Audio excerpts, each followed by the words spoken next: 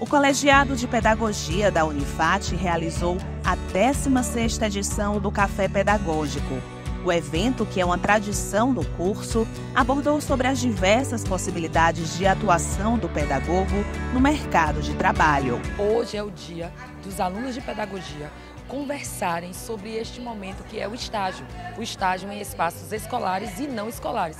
Afinal de contas, esses meninos e meninas vão sair daqui para ocupar espaços de formação, que podem ser a escola, como podem ser outros ambientes. É uma troca de experiência muito grande, os alunos precisam desse momento, valorizam o nosso curso.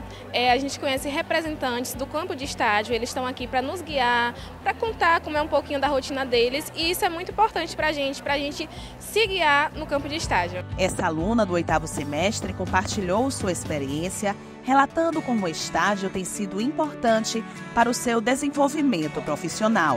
Na prática, é vivência, realmente. A gente vê tudo na teoria, aqui na faculdade, mas é na prática que a gente realmente se forma, enquanto professor principalmente.